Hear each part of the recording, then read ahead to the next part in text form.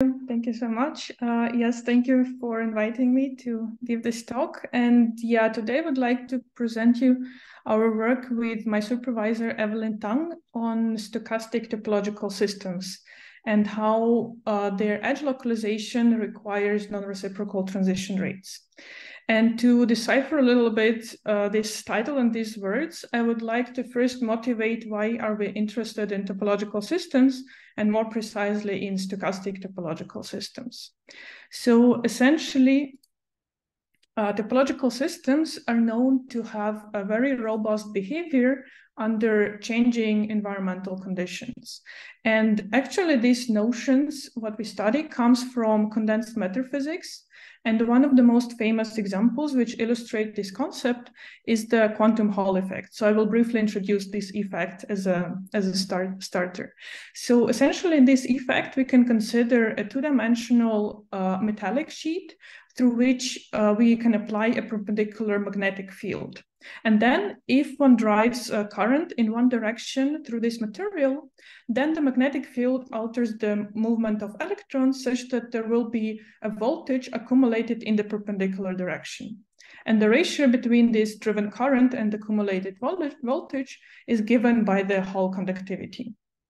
So surprisingly, it turned out in the famous experiment by Klaus von Klitzing that this value of a Hall conductivity is precisely quantized to certain values and also um, keeps this value unchanged for a certain range of applied magnetic field, which is exactly this robust quantity which does not change when the condition, environmental condition change, changes. So essentially, it turned out that this robust um, uh, robust value of conductivity can be, can be attributed to an internal structure of the eigenmodes of the material, which are um, characterized by a topological invariant. And this topological invariant leads to uh, eigenmodes that are localized on the edges of the material.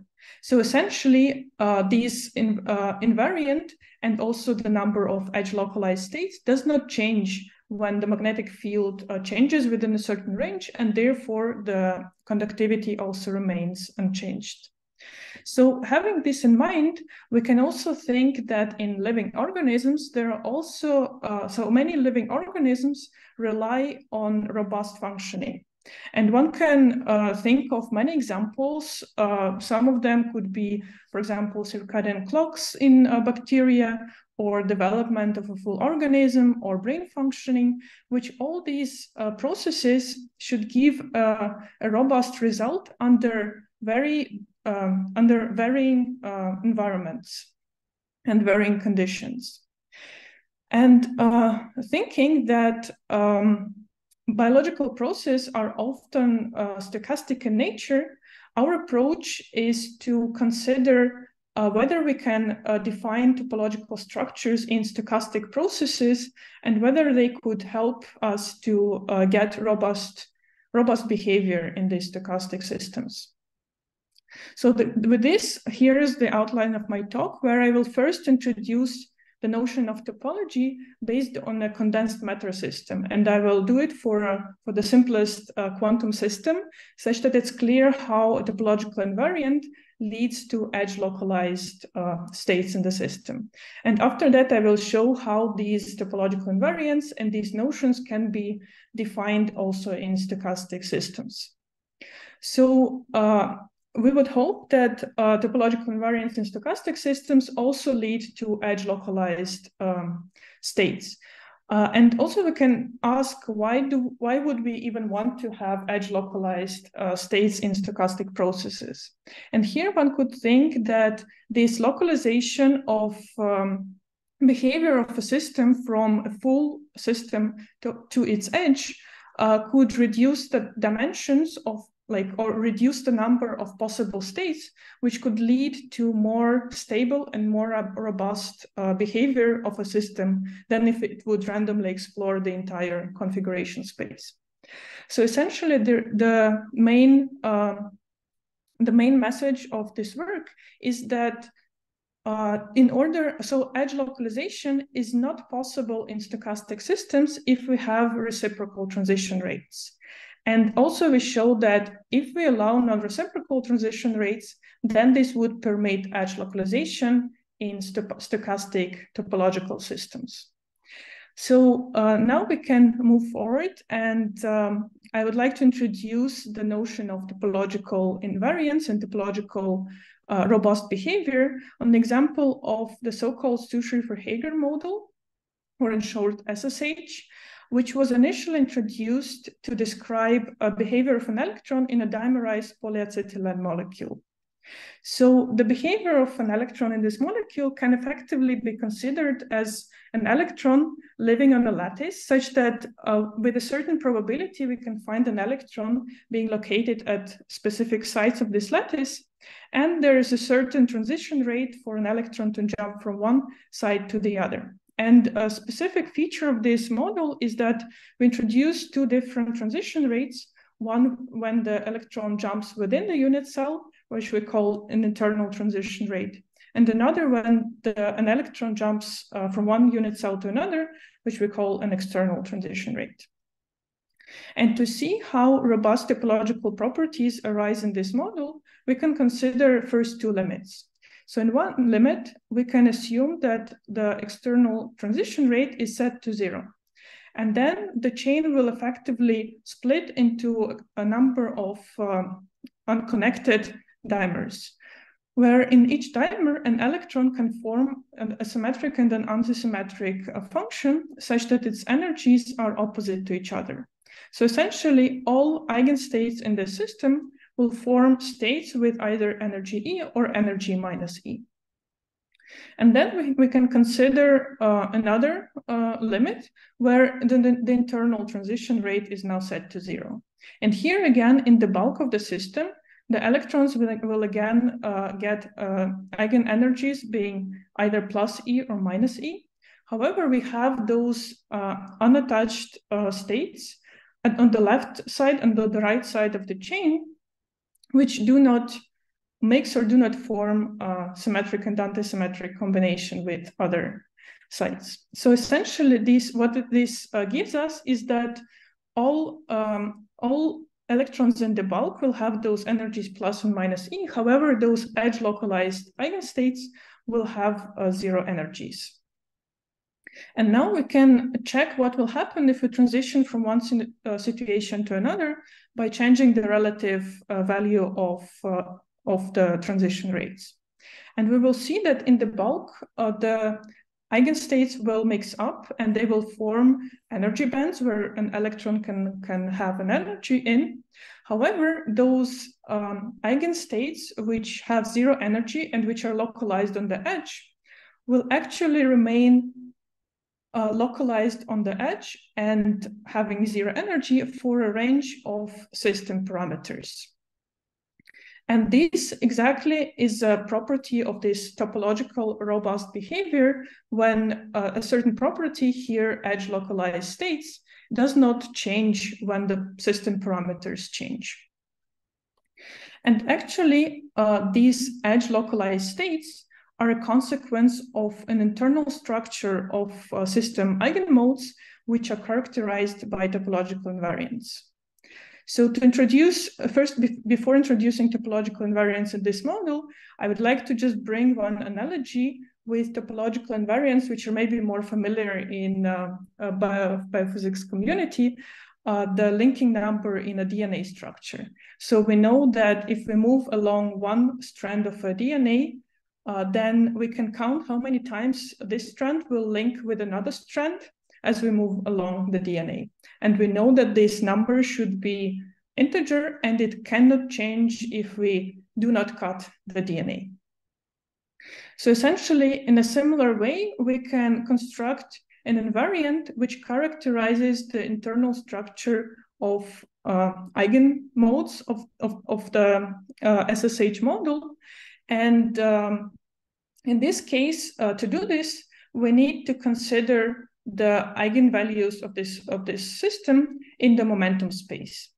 So essentially, it turns out that we can write the Hamiltonian of the system in the momentum space, which is given just by two by two matrix.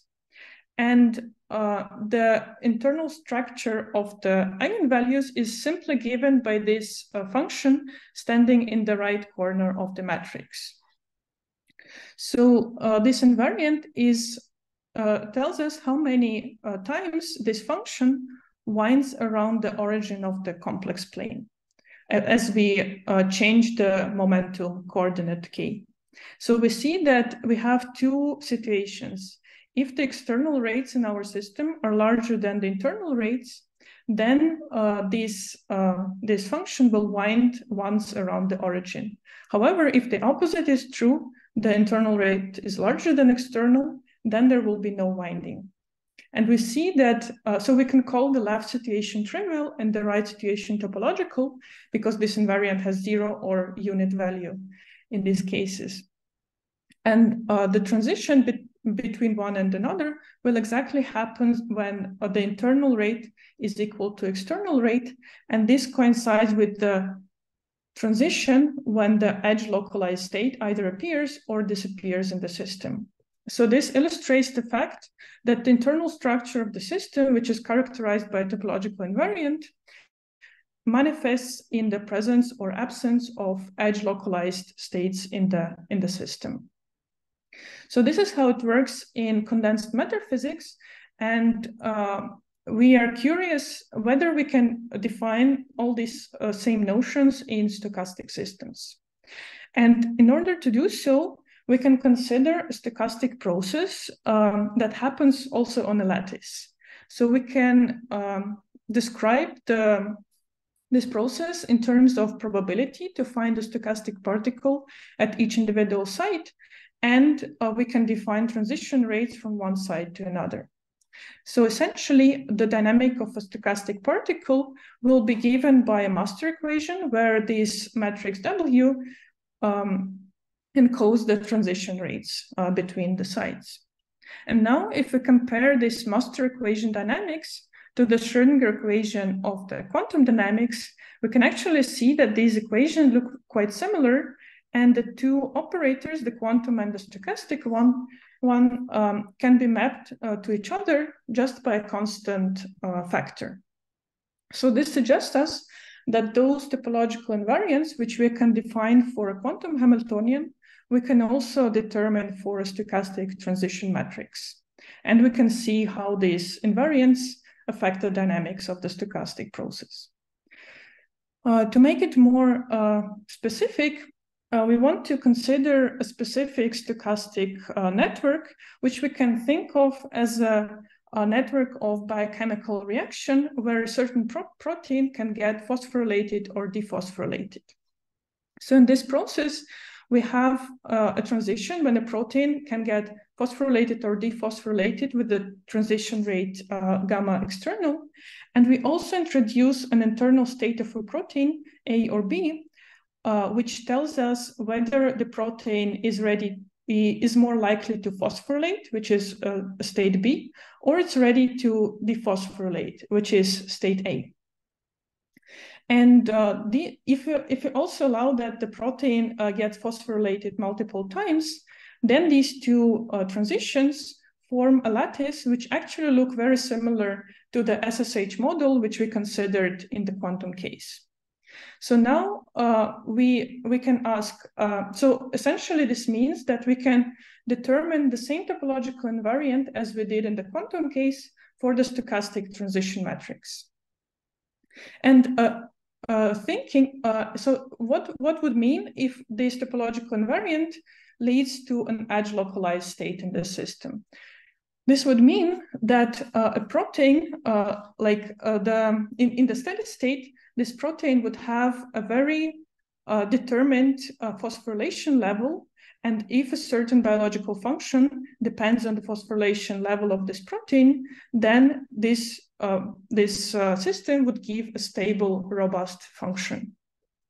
So essentially, uh, we want to determine whether this localization is present in the system. Uh, and now we can, con uh, so we consider again the, sa the same uh, lattice, the quantum and the stochastic.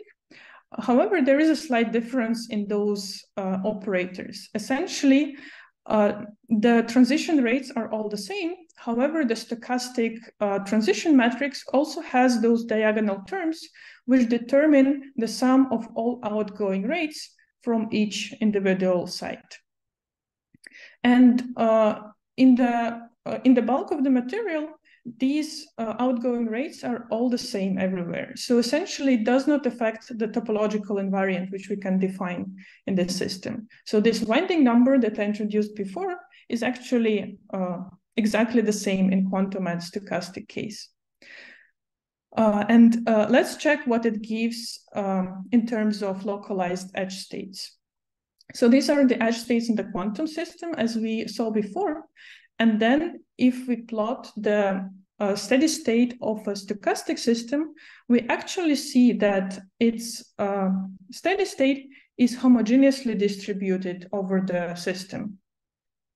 And uh, this is exactly the consequence of those diagonal terms which appear uh, in the stochastic uh, system. And what we can actually show more generally is that whenever a stochastic system has reciprocal transition rates, its, its steady state will be homogeneous. And this would happen even if uh, this uh, system, as in, in this case, as I presented, has a topological invariant.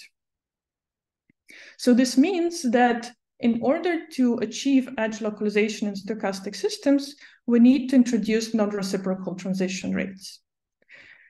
And to uh, uh, first, uh, we can just uh, check what happens if we add non-reciprocal transition rates to the same SSH model uh, that we studied before. So now we assume that the forward rates are uh, larger than the backward rates. In this case, the steady state of the system and also all other eigenstates of the system will be localized on the right edge we can actually uh, check more precisely uh, how the localization of the steady state will change if we modify non-reciprocity of the rates. So essentially we introduce this parameter which measures how, how, how strongly the forward rate is larger than the backward rate. And we see that the localization of the steady state grows dramatically with this uh, uh, value. What it tells us that in order to achieve edge localization in stochastic systems, we need very strongly non-reciprocal transition rates. And uh, this is uh, a unique property of stochastic systems because in quantum systems where all these notions were initially introduced, the localization does not require non-reciprocal transition rates. So um, now we see that, yes, there is a way to achieve uh, edge localized states, uh, edge localized steady state in stochastic systems. And I also wanted to uh, mention a couple of examples where those localized states were used to describe, uh, to, to model certain biological functions. And uh, some of these examples were introduced in this paper. And I just want to mention to give some perspective that those edge localized steady state can, for example, help to model kinetic proofreading, where uh, localization can be um, can be designed to be on the right uh, resultant, resulting uh, protein and not on the wrong resulting protein, uh, um, realizing kinetic proofreading, or also in cell signaling adaptation, where the localization also happens at the position where the adaptation uh, leads it to. And um, so these were examples of uh, one-dimensional uh, stochastic systems with edge localized um, uh, steady state. And we also can ask whether these, um, whether non-reciprocal transition rates can help to achieve uh, localized states in more complex systems. And for this, we can consider uh, models which realize um, currents along the edges. So such model was uh, initially proposed by Evelyn Tang and uh, co-authors uh, in this paper, and it consists of uh, two cycles. One is the uh, phosphorylation cycle where uh, with a certain probability a protein can get phosphorylated on one side, then phosphorylated on another side, then dephosphorylated uh, on one side and dephosphorylated on another side. And uh, similar to the previous model, we can introduce those internal uh, states which uh, tell us what is the most probable outcome for a protein to get dephosphorylated or phosphorylated and at which site. So essentially, if we combine those two cycles, then uh, this um, configuration space of a protein can again form a lattice, which, um, similar to the previous case, will be in a topological state. So its topological invariant will be non-zero when external rates are larger than internal rates. So what it leads uh, to in this system is that we can determine edge currents um, in the topological regime in this system. Uh, so one way to see that there will be actually those currents is just by inspection. If we uh, assume that uh, a system starts, for example, in this uh, side B on a, on the edge, then we see that there is a larger uh, there is a larger probability for it to remain on the edge and uh, jump to the side C than to go inside of the bulk. And then from side C, again, there is a larger probability to continue along the edge. So it was actually suggested that these edge currents could also model certain uh, biological uh, processes, for example, cell circadian rhythm, where these edge currents can actually um, model the, these periodic oscillations of the circadian rhythm.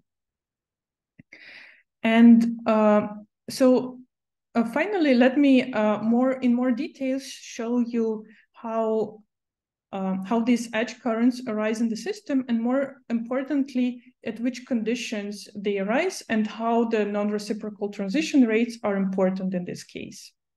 So to do this, I would like to again start with, uh, so first uh, let's look at the reciprocal uh, system when all the forward rates and backward rates are equal to each other. And again, I would like to start first with the quantum uh, quantum model because there it's uh, we we know more. Uh, we know better how a topological invariant is reflected in the system behavior. So essentially, in the quantum model, we again have a spectrum where we have bulk states, which are um, indicated with uh, black lines here. And between these bulk states, there are uh, states that are localized on the edge. So, and these edge localized states are also a consequence of a topological invariant. So these, uh, if I plot one of these states um, uh, explicitly, we can actually see that the probability is localized on the edge. And now uh, what happens if we consider a stochastic system on the same network. We know that it, it's different from the quantum by those diagonal terms. And it turns out that these diagonal terms shift uh, the edge states such that they mix uh, with the bulk state and lose their edge localization. So essentially, if we plot a steady state probability, in this um, case, we uh, quite expectedly see that this steady state probability is homogeneously distributed over the entire system. And this is expected because, as I said previously, this would be true for all stochastic systems with reciprocal transition rates. But now, if we assume that the rates are non-reciprocal, the quantum spectrum of this uh, model will uh, become complex. So essentially, some of the eigenvalues will obtain imaginary uh, eigenvalues. And if we consider how the, the spectrum changes when we go from quantum to stochastic system, we see that these uh, complex uh, edge states are shifted towards the steady state. And the steady state becomes a combination of bulk distributed and edge uh, localized states. So essentially what it shows us that the larger is non-reciprocity non of the transition rates, the more uh, the spectrum will be spread along the imaginary axis. And the more it's spread, the less the edge state will mix with the bulk and uh, lose its localization. So uh, we can also confirm that uh, a stronger non-reciprocity leads to stronger edge localization by computing a probability current, which is uh, a probability flow along the edge of the system. And we can also see that this uh, probability current grows dramatically with non-reciprocity of the rates in the stochastic system. While um, in the quantum system, it actually does not depend that much on the non-reciprocity. So essentially, this tells us that, again, in order to achieve uh, strong currents, currents in stochastic systems, we need strongly non-reciprocal transition rates. And in this model, it also means that it needs to operate strongly out of equilibrium, which also gives some hint on why so many uh, biological oscillators uh, exist so strongly out of equilibrium. So uh, with this, I would like to conclude and say that, yes, we know that uh, topological invariants in topological structures lead to edge localized states. In the, we know this for quantum condensed matter systems. And in our work, we showed that for stochastic systems, if they have reciprocal transition rates, then uh, the dynamics will be delocalized. However, if we introduce non-reciprocal transition rates, then this permits edge localization, and we showed it for different models, so one-dimensional and the two-dimensional. And we also uh, can um, understand that this localized steady state can lead to more robust biological functioning. So with this, I would like to thank my supervisor, Evelyn Tang, and thank you all for your attention.